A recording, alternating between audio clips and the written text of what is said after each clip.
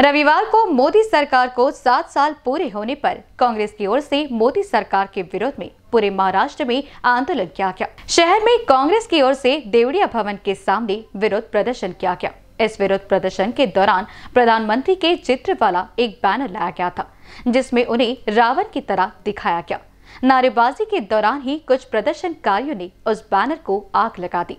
Banner धो धो कर जलने लगा। वहीं ड्यूटी पर तैनात पुलिस कर्मियों ने उसे बुझाने का प्रयास किया, जिसके चलते दो कर्मी झुलस गए।